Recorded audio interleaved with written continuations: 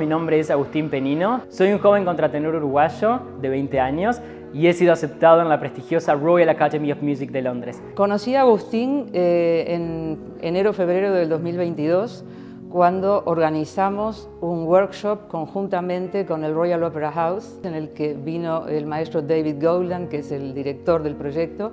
Allí Agustín eh, se distinguió, eh, interesó muchísimo a David Gowland, que desde ese momento lo apoyó para poder llevárselo a Inglaterra.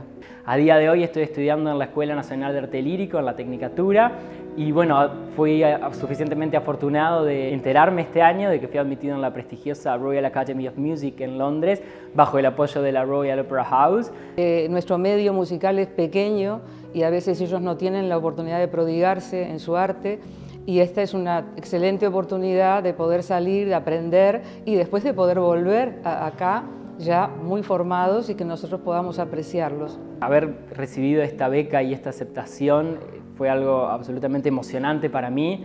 Este, va a ser un espacio donde absolutamente pueda desarrollar y perfeccionar todo lo que he venido trabajando durante estos años y mantenerme en la comunicación de ese nuevo ambiente operístico.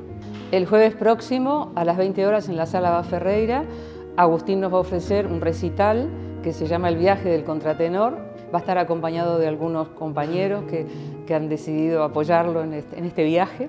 Eh, y bueno, será un poquito la despedida de él antes de que se vaya a Londres.